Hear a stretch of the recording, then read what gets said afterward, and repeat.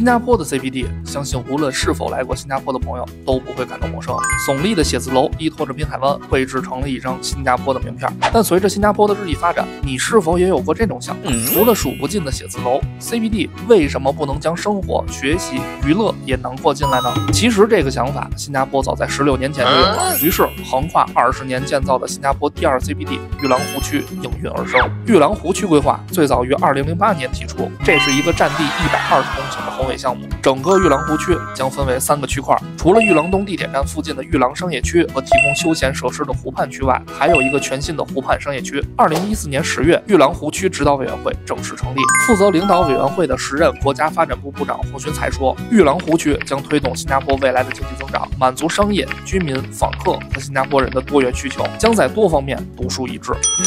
在过去的十年中，玉郎湖区已相继落成开放了 Gym、Westgate 购物中心、就业与职能培培训中心、梵蒂娜学院、黄庭芳综合医院、玉郎云顶酒店、湖畔花园等设施。三月二十六日，玉郎湖区项目又迎来了一个里程碑时刻，总占地六点五公顷的三幅白色地段竞标活动截止。未来，在这片土地上将有超过一千七百个住宅单位、十四万六千平米的办公空间和七万三千平米的零售、餐饮、娱乐空间拔地而起，由玉兰湖花园、新科学馆、玉兰镇大。会堂及众多酒店组成的综合旅游开发区，为整个湖区注入新的活力。由于玉兰湖区独特的商业魅力与宜居环境，不少人也将选择居住地的目光投向了这里。新公寓开盘当日即售百分之九十的案例不胜枚举。毕竟如此性价比的地段，去哪儿再找第二个呢？而作为今年唯一开盘的新公寓，Sora 水岸华庭可谓占尽优势，守着玉兰湖的无敌美景，占据着第二 CBD 的核心位置。不出所料，又将是一个手快有、手慢无的新楼盘。如果你也对水岸华庭，项目感兴趣，